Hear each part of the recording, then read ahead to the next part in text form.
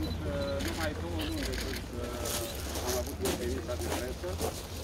Suntem uh, onorați astăzi să-l avem aici pe domnul primul ministru, uh, domnul primar Chirica, domnul ministru al sănătății, domnul ministru Costel Alexe. Uh, Suntem bucuroși în primul rând pentru că vedem că investițiile uh, încep să însemne ceva pentru comunitate.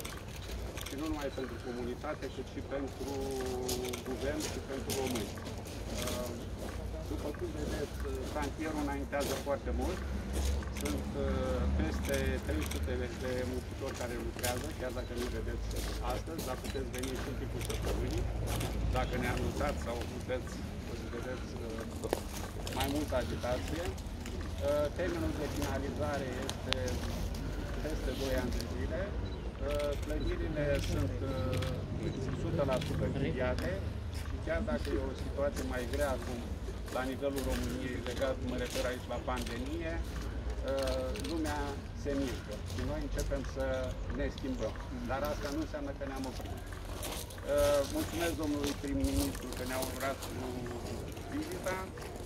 Uh, Mulțumim, mulțumim pentru suportul acordat companiilor mici și mijlocii în această perioadă a pandemiei.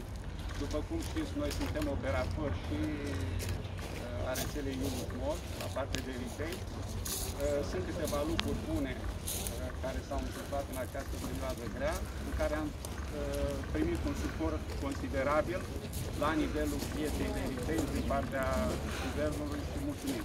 Vrem să vă mulțumim pentru lucrul ăsta pentru că n-am avut o pentru. Uh, Cam atât dacă vreți, domnul.